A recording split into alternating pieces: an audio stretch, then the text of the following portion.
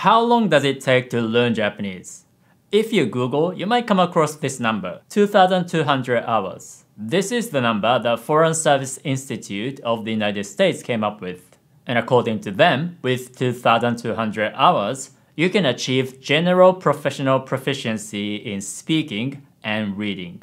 And how do they define that level of proficiency? They say, able to speak the language with sufficient structural accuracy and vocabulary to participate effectively in most conversations in practical, social, and professional topics. So it's kind of like you can express yourself in Japanese without being too frustrated, even though your Japanese isn't really that perfect. And when it comes to reading, they say, able to read within the normal range of speed and with almost complete comprehension a variety of authentic prose material on unfamiliar subjects.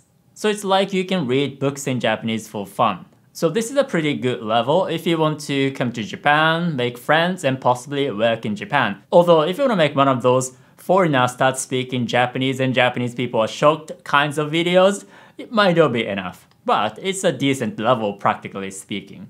And this is assuming that you only speak English because if you speak a language that's much closer to Japanese, for example, if you speak Korean, it's gonna take much less time.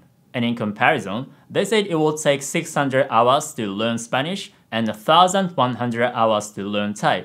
That's interesting because Thai is easier to learn than Japanese for English speakers. Hmm, it's probably gonna take a lot of time to learn how to read Japanese because of kanji. But intuitively, I think it's not hard to think that if you spend 2,200 hours learning Japanese, you will get somewhere. And to make this number easier to understand, if you spend an hour a day, it will take 6 years. And if you spend 2 hours, it will take 3 years. And if you spend 3 hours a day, it will take 2 years. Now, do you think this is a lot? Now, when I started learning English seriously, I came across a similar number because English is a very difficult language for Japanese people, for the same reason that English is so different from Japanese. And I heard that I needed to spend two or three thousand hours to be at a decent level. And I thought it was a lot. But it turned out it wasn't actually bad at all, because of something that many beginners don't quite understand.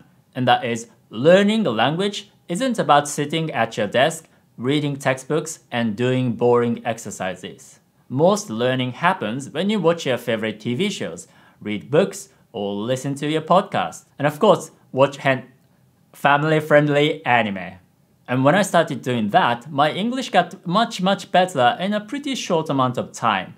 And I realized that spending four years learning English in school was pretty much nothing compared to that.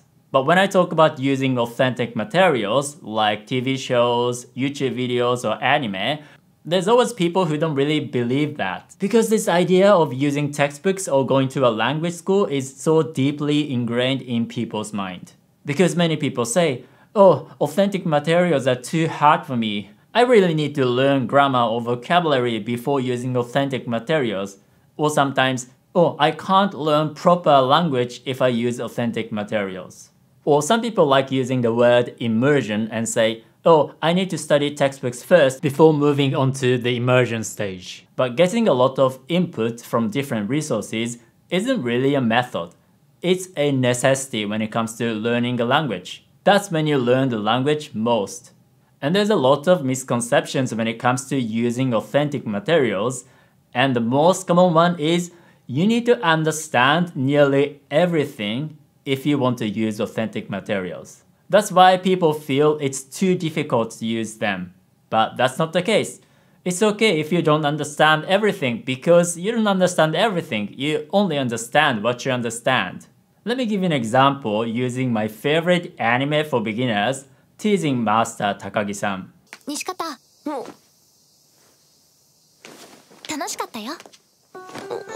So she said, 楽しかったよ and 楽しかった is a past form of the adjective 楽しい so it means it was fun. And yo is a type of word that we use to add nuances to sentences. And we often use yo when we share something that the other person might not know or disagree. So 楽しかったよ means it was fun. Now, is this too difficult to understand?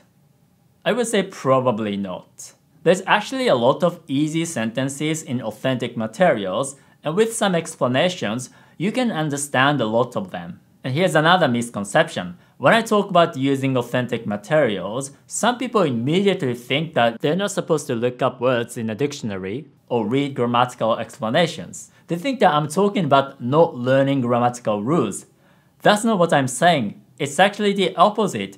Learning basic grammatical rules helps a lot when it comes to learning a language. What I'm saying is, you don't need to learn those grammatical rules in isolation devoid of context. You can perfectly learn grammatical rules using authentic materials, just like you did just now.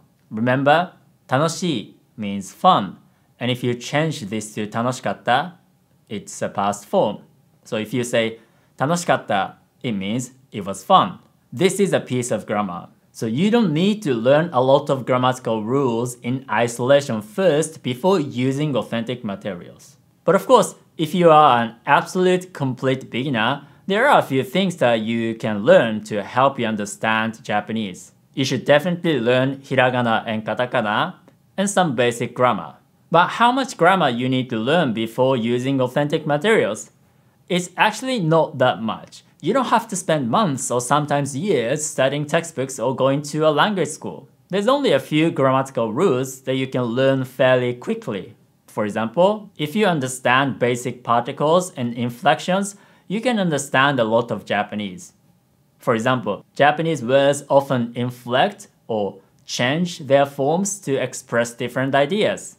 楽しい is the present form, and 楽しかった is the past form. And do you remember that she said 楽しかったよ? Yo is a particle that we often use when we tell somebody something that they might not know. And here are some of the basic particles. Another example. こんなところを用もないのに珍しくない Now, you might think this sentence is kind of long, but remember, you don't have to understand everything. You can just focus on something that you can potentially understand. So let's focus on 珍しくない isn't it rare? 珍しくない is the negative form of the adjective 珍しい rare.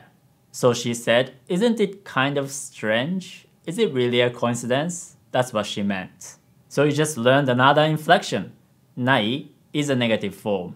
And identifying inflections is actually pretty easy. Of course, it's gonna take some time before you can inflect words smoothly when you're talking to Japanese people in real time. But identifying and understanding them is relatively easy. Let's try another one. じゃあ行くよ1 2 She said, じゃあ行くよ。じゃあ then. 行く means to go. And she's using yo because she's kind of announcing that she's going. So she's telling him that she's going to start playing the game. And I hope you can see how easy it can be to use authentic materials. So if you want to learn Japanese with me, I will teach you the kind of Japanese the real life Japanese people actually speak. So click the link in the description and subscribe to my email group. And if you do this every day, it's not gonna take 2200 hours before you start enjoying authentic materials.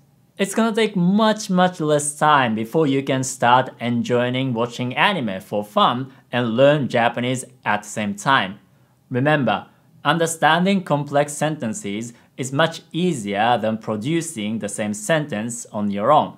In other words, it's much easier to understand anime than speaking Japanese fluently. And if you get to the point where you can understand Japanese anime, TV shows, YouTube videos, or books casually, it won't be hard to do that for thousands of hours. Just think, how many hours do you spend a day using English? Maybe you check the news in the morning, you talk to your friends, you go to school or work and you talk to your classmates or colleagues in English, you check social media, or maybe you hang out with your friends if you are a normal human being without a lot of social anxiety, or maybe you like spending your time on Reddit posting negative comments in English. So you are already spending hours using English. If you allocate a portion of that to Japanese, you can easily spend a few hours a day using Japanese.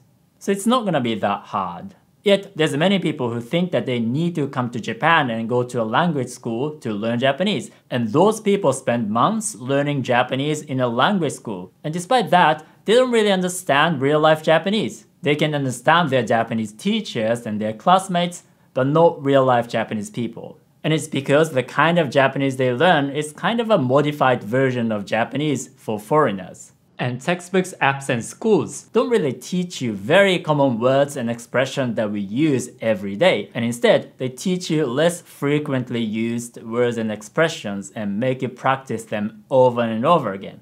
Of course, you will learn some Japanese and it's not completely useless, but how are you supposed to understand real life Japanese if you don't learn words and expressions that we use in real life? And if you want to learn Japanese with me, I will teach you the kind of Japanese that real life Japanese people today actually speak using natural, realistic examples. So click the link and subscribe to my email group, Japanese with Yuta.